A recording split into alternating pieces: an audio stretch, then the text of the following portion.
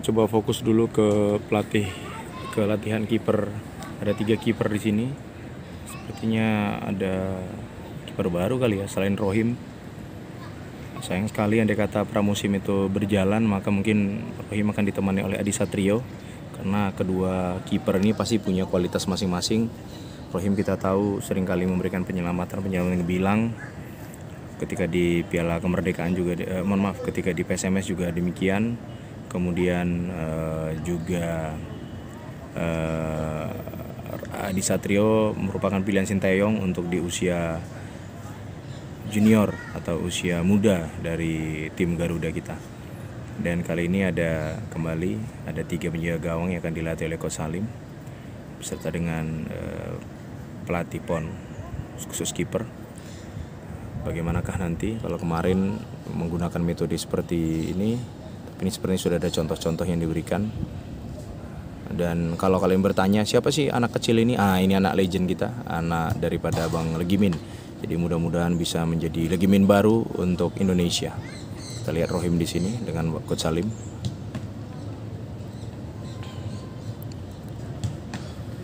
Dan kita harapkan juga Rohim tentunya jauh dari cedera ya. Karena kita tahu kualitas anak muda satu ini ya, walaupun sudah beristri ya. ini pasti kualitas. Ya, latihan-latihan ringan terlebih dahulu, ada tiga penjaga yang dilatih di sana. Ya, tangkapan-tangkapan memang harus menjadi sebuah rahasia ya atau sebuah jurus dari uh, kiper. Wah, ini bahaya. Ini kayak sarung tangan yang salah atau bolanya terlalu keras ya? Nggak tahu ya. Tapi memang asli tangkapan menjadi sangat penting. Tambah lagi memang kalau kiper zaman sekarang ya seperti yang dibilang sampaikan oleh Coach Sari Gultom itu kan banyak sekali harus memiliki apa namanya ya? Ya, harus memiliki kualitas untuk build up ya, memulai serangan segala macam.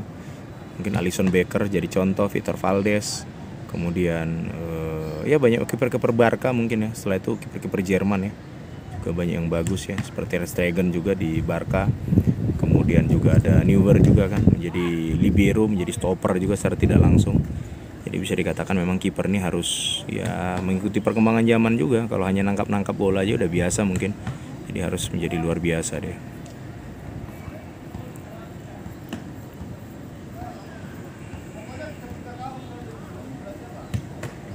sayup-sayup kita dengar suara coach Uwa atau coach Ansari Lubis legendnya Indonesia gelandang Indonesia yang banyak memberikan sesuatu untuk negara ini ya. Bahkan sampai sekarang kalau menurut kami menurut Skambal belum ada uh, gelandang yang seelegan beliau.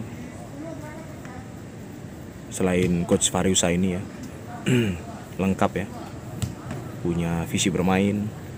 Ya mungkin belum pernah memberikan juara kepada Indonesia. Eh tapi udah ya tahun 91 ah lupa aku lupa. Ini nggak berani ngomong aku takut. 91 beliau ikut nggak ya? Kayaknya enggak lah waktu Indonesia Sea Games. Ya enggak kayak Rocky Putirai Widodo Cahyo Putro kalau nggak salah. Tapi udahlah kalaupun salah kalian cek aja sendiri ya. Siapa siapa aja penggawa Indonesia di tahun 1991 ketika mendapatkan emas di Manila pada saat itu ajang Sea Games.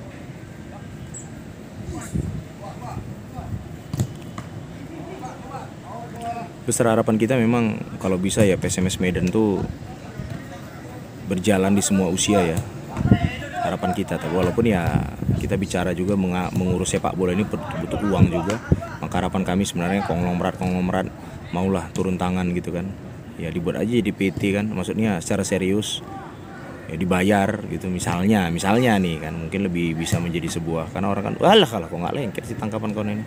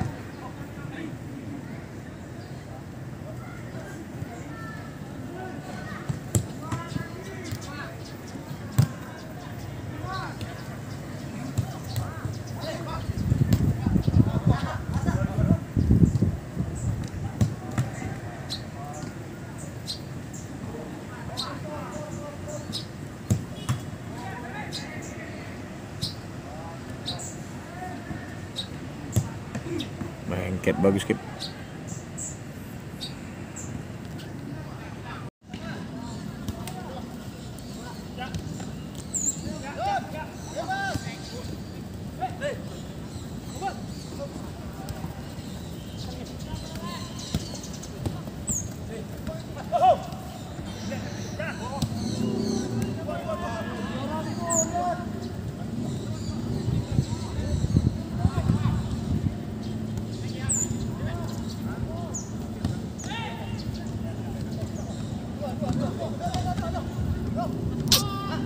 Apa sih? Dari tadi nggak ada lengket-lengketnya.